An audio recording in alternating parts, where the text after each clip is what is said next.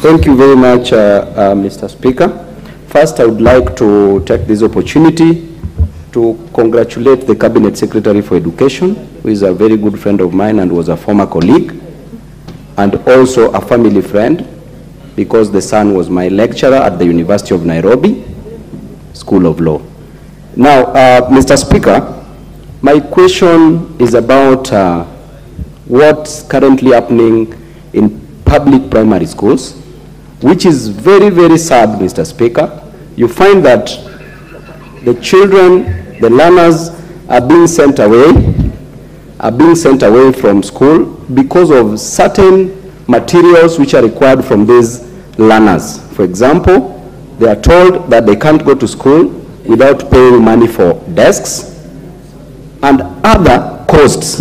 As we speak, there's a primary school called Edenville Primary School in Embakasi East constituency that has sent away 65 learners who can't go to school because the administration is demanding 1,500. And I know that this is affecting the whole country.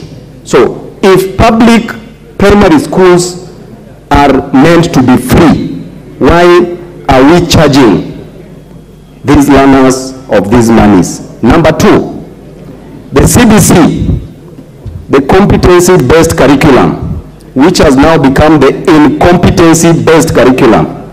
The cabinet secretary, can we do away with this system? Because we are wasting our children.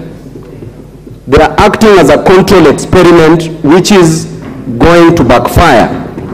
You find, Mr. Speaker, that in a primary school, the junior secondary school, one teacher who is trained at the university is supposed to handle a maximum of two subjects.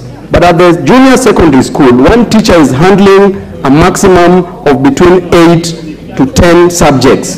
Mr. Speaker, how viable is it for a teacher to prepare for a subject that he will teach the following day?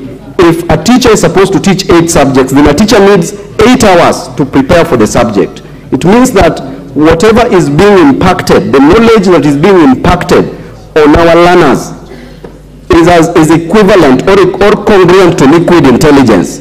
So, Mr. Speaker, let us not waste our children and to the cabinet secretary, please let us do away with CBC, What is is wasting us. question? uh, Oh, You are making a statement. Oh, could we do away with the CBC? Thank you.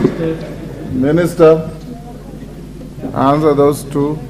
Yeah, thank you, Honorable Speaker and Honorable Members.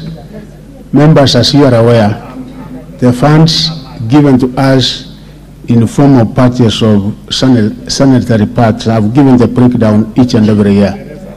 The money is not enough as much as we would like to cover